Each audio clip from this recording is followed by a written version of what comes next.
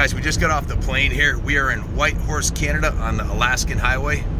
I'm with my friend Andre, who's been a veteran of this area for how many how many years you've been up here? 17 now. 17 years, and he's giving me a little history lesson on what, what this is about up here, Whitehorse in the Yukon. This is the gold rush country, right?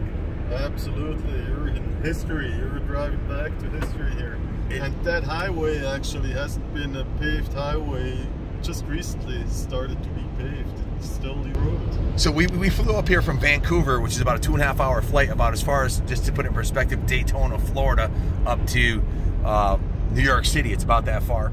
And it took us two and a half, maybe a little farther, two and a half hours. And when we were on the way up here, we had a little mishap with the plane, didn't didn't we, Andre? Uh, well, they didn't. Uh, there was something hanging out the cargo door and knocked on the fuselage. I don't know if you did hear that. Yeah, it could have been a problem. Like, it, it could have put a hole in the Oh, fuselage for and we could sure. have all So. I instantly texted my buddy, that's the pilot, that there is an issue, and he turned around, and we had to fix that.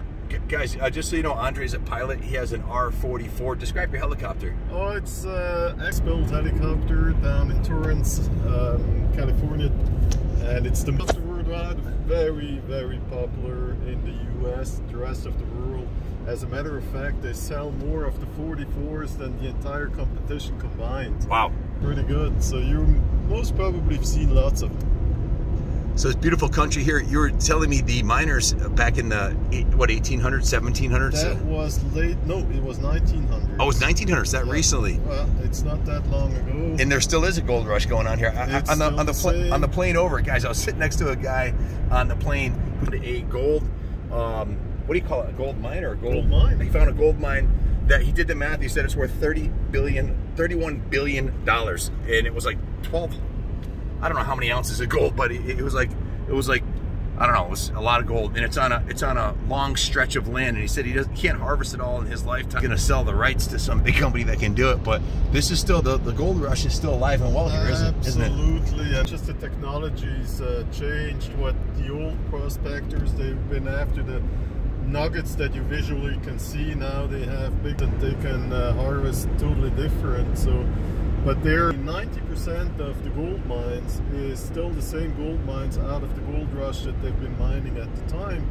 Just different machines, different equipment, bigger operation, and a lot of um, publicly traded companies up here. So just getting here back then when there were no air, no airplanes and no railroads to speak of, there was people would like die on the way up here, right? Oh, lots of them. They had to come on steep, steep boats from San Francisco up to Skagway, Alaska.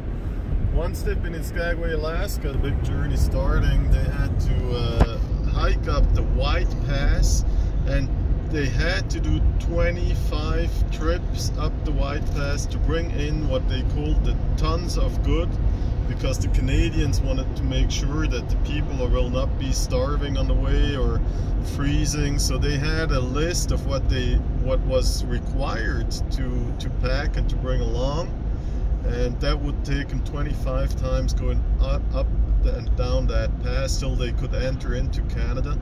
Then they still had a few days or weeks of hike to reach the Yukon River and once they've been at the Yukon River, they could float down to um, Dawson City. Which is south of where we are now or north? No, actually, it's north. It's northwest. It goes towards uh, Alaska. Hey guys, if you've been watching this channel, you watch the DNH videos, uh, the commercials where, where the, the, the couple is up there and they buy all their camera equipment, from DNH and they, they're, they're in a city that has a population of 54. We are going to a much, much bigger city with a population of how many?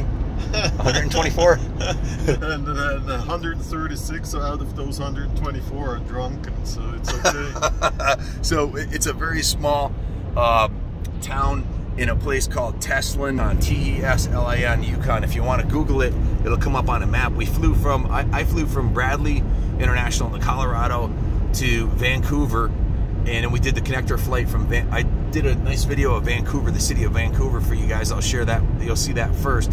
And then we flew from Vancouver up here to Whitehorse. Almost, almost had an, uh, we might have had to jump out of the plane with a parachute if it broke the fuselage, but we, we, we narrowly escaped the danger. and uh, they had to go back and fix the, the, the plane, the strap that was hanging out of the plane and banging on the plane. And they refueled, and we're running a little bit late, but it's it's definitely been a adventure just getting here. And Kenya was like back in the day before of airplanes, where, where the guys had to like take horses up here and stuff, and for, to to uh, for the promise of riches.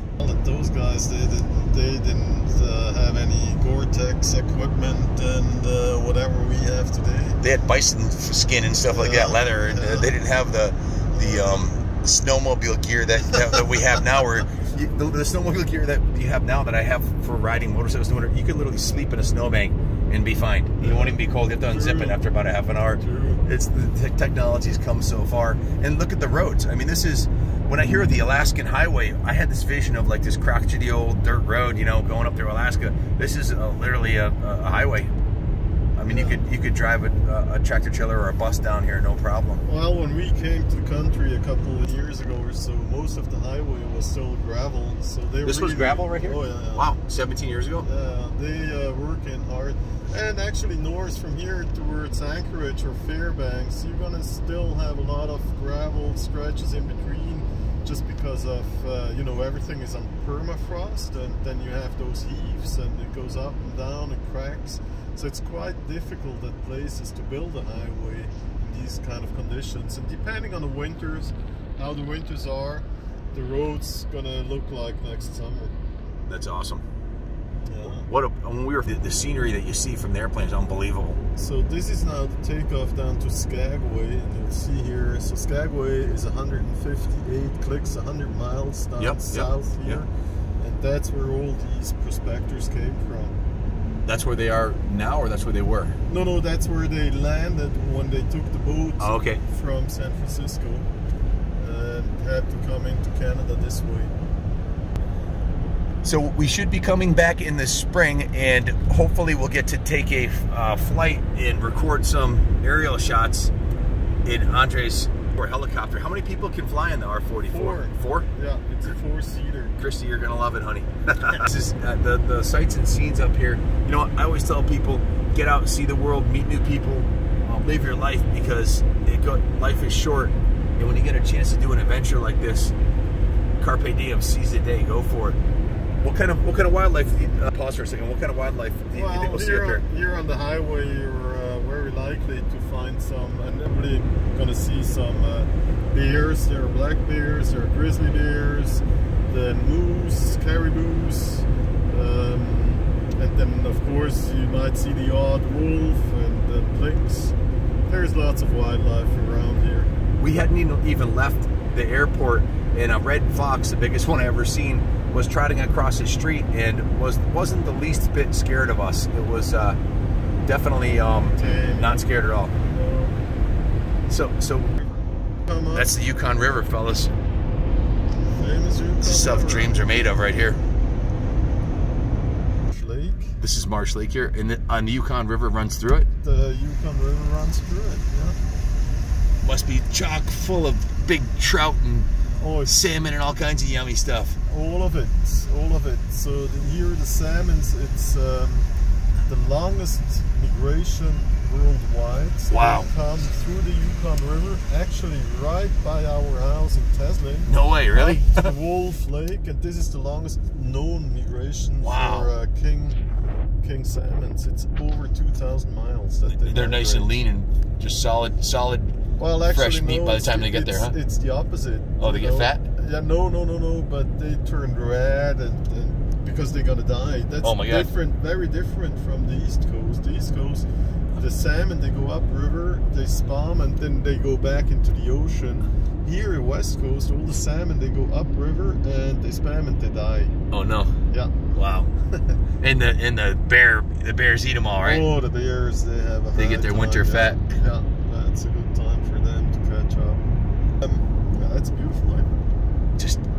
You know, flying in the plane, I saw some of the most beautiful geography I've ever seen, and talked to several people on the plane who came here briefly and ended up staying forever. They're like, "Be careful, you'll fall in love with the place." and that's what happened to you, Andre. Exactly what happened to us. It's just uh, You, tell tell the viewers your history. Like uh, you were born and raised overseas yeah, in born Switzerland. and raised in Switzerland. Uh, always be a ski, ski bum. Skiing bro- brought me. That's where I ended up. You came here and fell in love with the place. Ended up moving over here. Yeah, well, part time at least. Part time. You're, you're, you're how many months in Switzerland? Well, around six months here in Canada, and about four months in Switzerland, about two months uh, anywhere else traveling. that's awesome. Yeah, it's a good life. I don't know if you guys can pick up how beautiful the scenery is, but it's like something out of a postcard, man. Well, and uh, if you go up further north, you have more red now this time of the year, and it becomes really magic. It's just beautiful. Sort of, but I'm time. guys. This is Teslin Lake here. You said it's 100 miles long. 100 miles. It goes into British Columbia. Down, so we're in the Yukon Territory. That lake goes down to BC, 100 miles long, and it's the only few cabins here that's on that lake. So if you ever want to go fishing, you'll be all by yourself all summer long.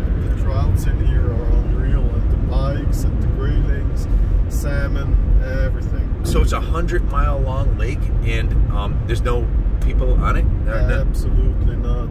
fishing up here is phenomenal. Oh man, I gotta come. I gotta come do some fishing.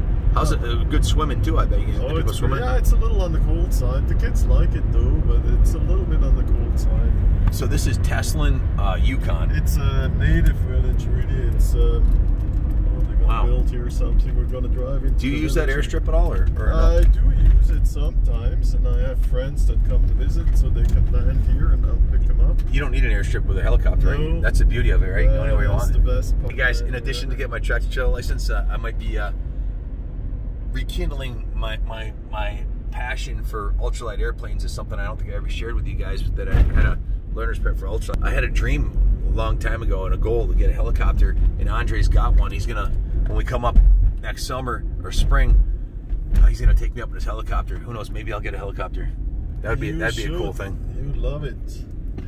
or at least at least to get a hel- schools you can go to. Yeah, you go. to A lot of fun, and uh, after 50 hours, you can do your private pilot's license, which is really easy to do. I Wow. think. Is it is it hard to learn how to ride a You will just love it. It's like a bicycle. Once you can drive it, Fly it, ride fly it, then uh, there is no magic to it.